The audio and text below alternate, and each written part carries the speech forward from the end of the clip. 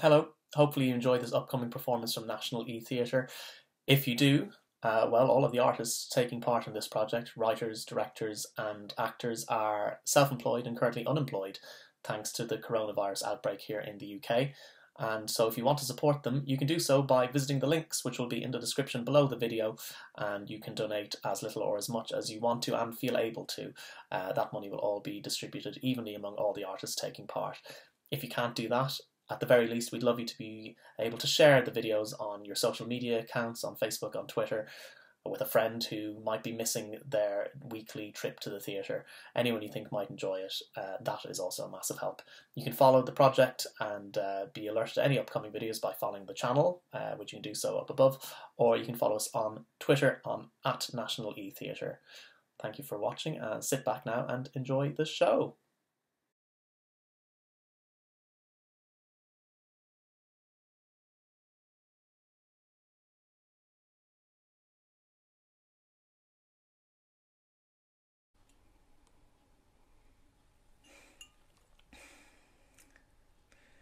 Hello. Hello there. Okay. okay. okay. I want to tell you two stories. One is Virginia Woolf's, and the other one is mine. Who? Don't worry about it. Okay. Um. So, listen. There's no perfect way to start this, which is fine, because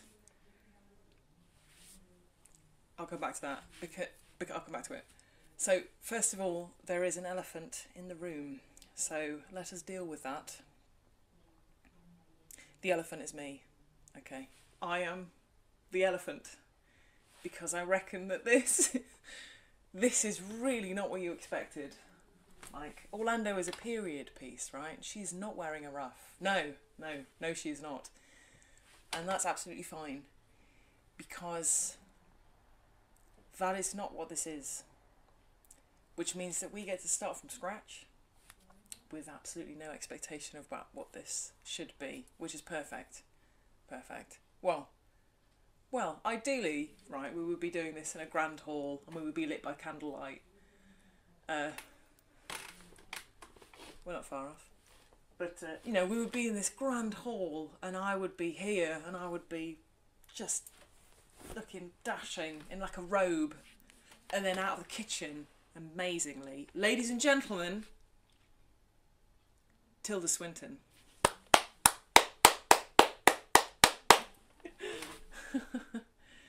She's not in there. she doesn't live with me. I'm sorry. Please don't leave. Please don't leave. Um, like I said, there is absolutely no way, perfect way to start this. Um, and frankly, I will take whatever I can get because you cannot make people do things. Like I cannot say, "Hey, you guys, react like this. Like feel like feel this." I can only say, "I'm going this way. Please come with me." So, please. I want to try an act of communion. Not a, not an actual communion like with bread and wine. Although I will be drinking because we're on a lockdown and it is past five o'clock. What's five o'clock anymore? Yeah, exactly. Mm. So, okay, so normally we would do this. This is communion with a small c. So, normally we would do this and it would be super poetic and we would dim the lights and and I would be super eloquent. But then I am not Virginia Woolf and this is not the National Trust. Um, and we've only got 20 minutes. So here we go. This is this is communion with a small c, and you don't need to do anything. Just if you are still there, um, please come with me. So prologue. Imagine yourself as a kid, okay? So, like you're eight years old. Like, yeah, you're eight, give or take. Before before fashion kicks in. So the you wear the stuff that you really like, not that everybody else likes. So the stuff that you wear, like, really, it represents the. Okay, so you are eight. You're eight years old, and you are at a you're at a jumble sale, and you're about to buy some pivotal stuff. Okay, so you're rifling through this box of paperback books. Okay, and there's a lot of Mills and Boon in here. Oh, hello. Um, so these are romances where the men are men and the women are women and the men are withholding and the women are journalists on the whole. And I am not knocking that because I've absolutely read these. And, you know, when these people make love, volcanoes erupt and, you know, uh, wind goes howling over the plains and oof, you know but uh, but there's here's this one book okay and this is the moment. Orlando by Virginia Woolf. The longest and most charming love letter in literature. Okay so all Virginia writes this love letter chapters 1 through 6 for Vita Sackville West after the relationship was over to say, This is what you mean to me, always. Uh, okay, so we are eight, but this book is going to stay with you, always. So, chapter one. Okay, so I would. so I would love to tell you this story, the whole story, and I would take you on this epic journey, and you would meet Orlando, and he's this Elizabethan little boy, and here's how he, he falls in love with this Russian princess. But then she sails away, right? And he's standing there. He stands in the river, and he's fucking he's swearing after her, and he's like, "You're a beep and a beep, beep beep, and you're fucking beep beep." But you know that, like Orlando, like he really, he really beeps her. Um, okay, but he she sails away, and he takes his broken heart, and he goes to he gets you know moves on and he goes to Constantinople and then he you know one day he wakes up and he's a woman and this is how they are the same but they are different. And this is what it feels like when you leave home and this is what it feels like when you fall in love and and and and, and this is what it feels like when you are always the same but you are always different. And then when they do fall in love they fall in love with this sea captain called Marmaduke Bonthrop Shelmerdine I shit you not. And the love is ecstasy. Like it's fucking ecstasy. And when Shelmerdine looks at Orlando, they say, I see you like a ship coming towards me with the sun at your back. And just like that, at the end of the book, like after 500 years, all of the phases of Orlando's life open up. And in every single phase of the book, they are always Orlando. And there's this bit about, like, with ships on an unknown sea, and there's this bit where you know she's running on, you're running on a donkey, and there's a dog there. Like a shit ton happens. Like a shit ton happens, and at the very end of the book, even at the end of the book, Orlando is looking out. Like Orlando looks ahead, and I would tell you all of this. but we've only got 20 minutes and I really feel like I've been talking for 20 minutes already. So the book ends, okay, and this, the 12th stroke of midnight 1928, and Virginia puts down her pen and she leans back and she thinks, I wonder if Vita felt that because this book was written, not just written for somebody, this absolute bag of nuts of a book was written about them, this massive life. Virginia says, When I see you, I see light hitting a prism and can you imagine if somebody looked at you like that? Chapter 2. So I am not as eloquent as Virginia Woolf, obviously. No, no, no, no, don't shout all at once. Um, but this is a love letter that I wish I could have written because this is a character without a category in a story that does not end. And even after the book shuts, Orlando just keeps going. Like, they I like to imagine that Orlando is out there and they're changing their clothes and they're changing their ideas. And if Orlando was standing here today, this kid, born in the 1500s, that would make Orlando almost as old as the oldest living thing on Earth, which is the ever living jellyfish, right? Because unless somebody eats it or it gets swamped by a plastic bag, it will survive forever by returning to youth and starting again as a polyp. A polyp.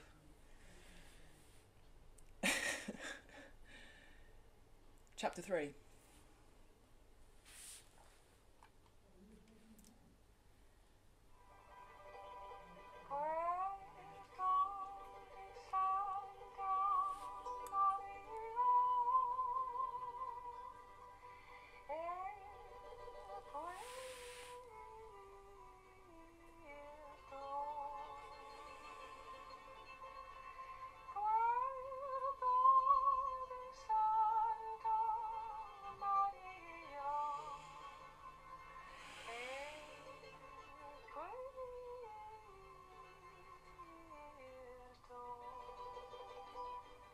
I see the hotel. The curtain is open. And I can see the sky. She asks me to stay.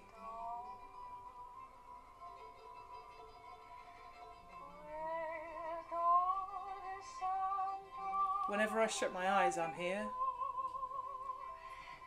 Oh, I'm back. No, I'm there again. I see B.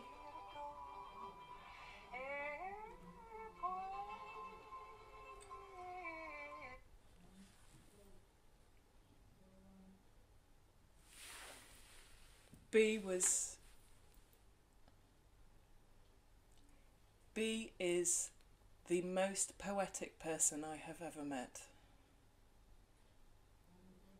Like the way that she says my name. It sounds like me. Like it sounds like the kind of person that I would want to be. When I see you, I see light hit, hitting a prism, and that is that is B. And we met in this hotel. Um, so there's B at the bar. This is me sniffing around the free buffet. Do I want a drink? Yes. Um, she had forgotten her toothpaste, and later on that night, I knocked on her door with a tube of Crest. And here we are, we are standing in this doorway, right, and we're we were smiling at each other. And then we're in the room, and the rooms all look the same. And you don't bring anything with you but the clothes on your back. And there is B. And B asks me to stay. And I just. I, f- I fell in love with B. Like it just. Oh, I remember looking at the way that she moved. Like an animal and her hands. I would start from here. Chapter 4. Uh, so, B laid this card on my table once. Bisexual. And she said, Is this you? And I said, No, no, no, no, no, I don't know. I don't think so. No. Because this card suggests this kind of open season where everybody is invited. When in fact, nobody is. Like, I'm like that person on Halloween who is in, but they keep the lights off. And if you knock on the door, I shall mute the TV. Like, that is what I am like. I just like you. You can knock on my door. Uh, I have worn this. I have worn this label once in the spirit of openness. But it did not suit me. Like I tried it on in front of a friend, a very good friend, in fact, and I came clean, as it were, about how I feel. And I thought, yeah, you know what? I really, I am. I'm going to say this. I'm going to say this word because we're friends.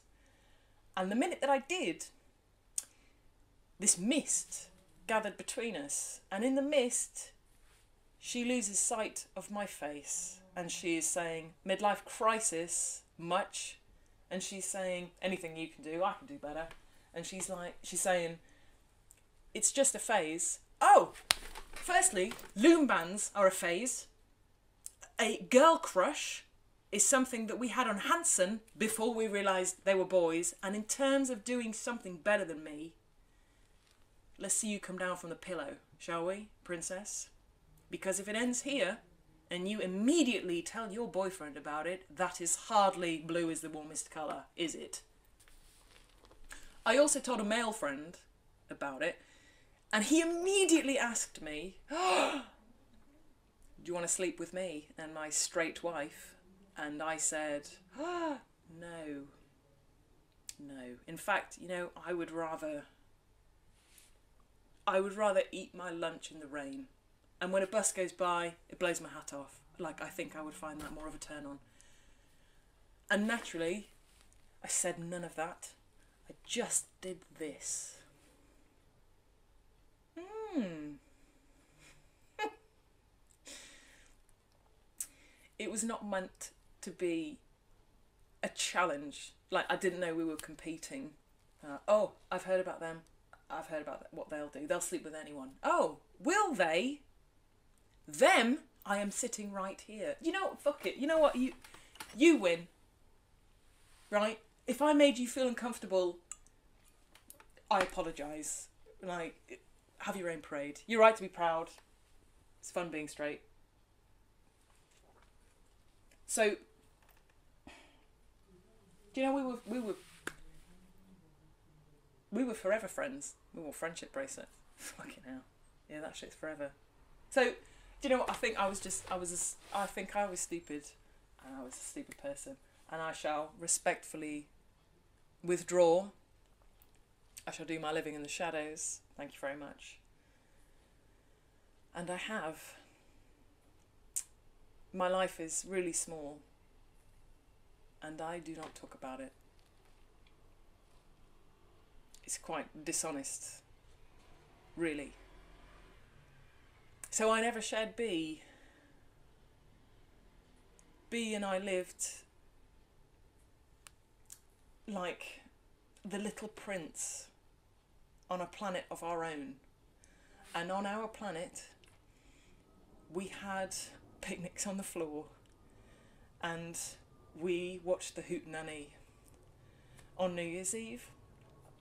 And our planet had a Pooh Bear that I brought from Earth. And our planet had hotel art and a checkout time. And on our planet, I was not bisexual. And on our planet, she was not married. So I rescued the friend from feeling awkward, but at the expense of the friendship. I shall never tell them about B. You know, they'll say, What's new in your life? And I will say, Nothing, not a thing. Like, you could fit my life in a fucking egg cup. And when the friend rings, I will protect myself by never picking up the phone. So, do you know, I'm going to take that off, that label, because I just, it's not me. And I think, you know what, fuck it. I'm going to, I'll look through the cards and I shall see what else we've got. Middle aged. No, thank you. There's only two ages for a woman. Thank you very much. And one is early 20s. The other is Dame Judi. So, no, do you know what? I'm going to turn to Orlando for this. 500 years of change. How would you label yourself? And I turn to my oldest friend, and Orlando says, Orlando. Sexuality, bibliophile. And.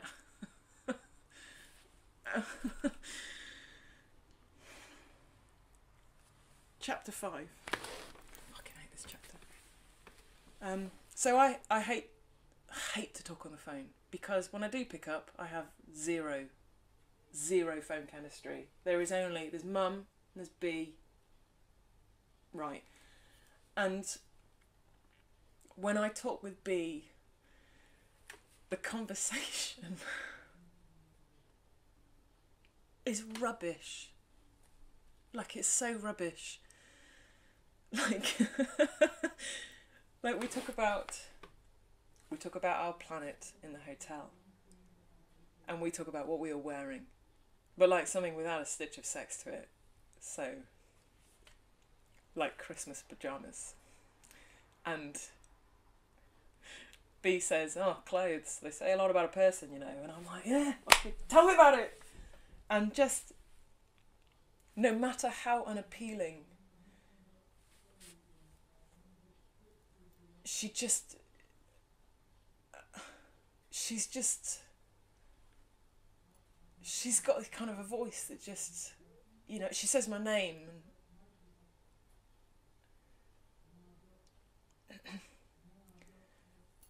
I love the way that she clears her throat. Right, okay, so I'm in my flat, right?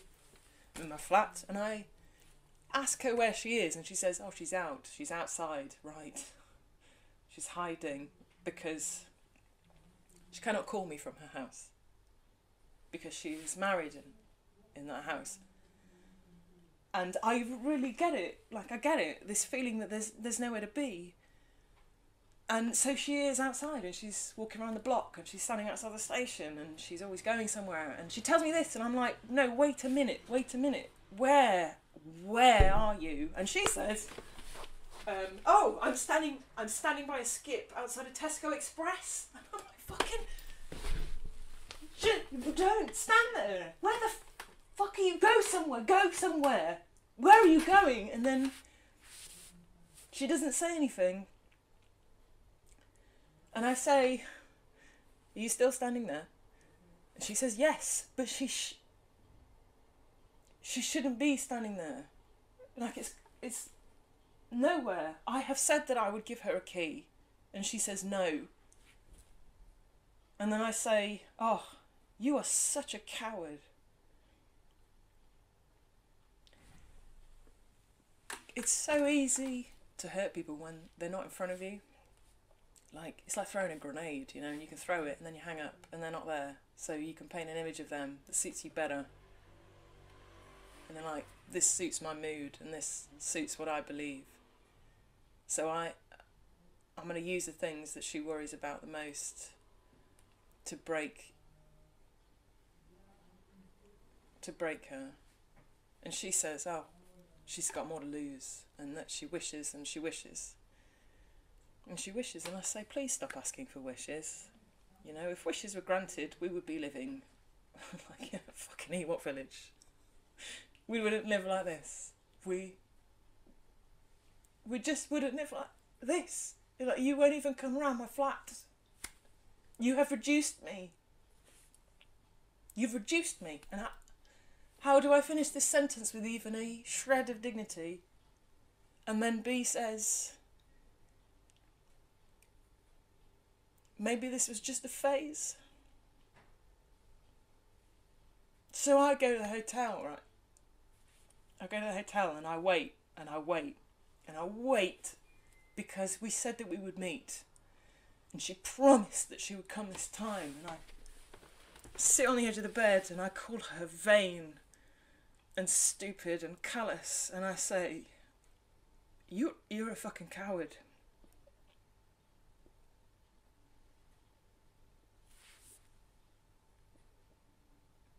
I beat her.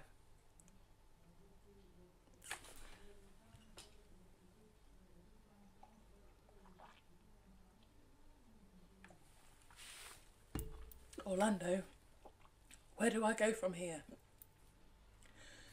And Orlando gets up and Orlando walks to the door. And Orlando stands in the door frame and says, Do you know, you could walk out of this room and you could be different. Just imagine yourself different. And I say, I just want to go home. And Orlando says, Sorry, kid. Chapter 6. So, I said at the start that I would tell you two stories. And one was Virginia's and the other one was mine. But I didn't tell you who I was because I'm sick to death of this particular self. I want another. Like I want I want you to see me differently. I think um, that we have become cruel to each other. I mean, when I think about B, my thoughts are mean and my thoughts are every day because I think about her all the time, like all the time. And I think about arguing with her and I think about calling her names and I'm vehement about her because then I can bring her down to size and make her up to be less than she was. But when I think about the hotel and what we had, like in such a small space,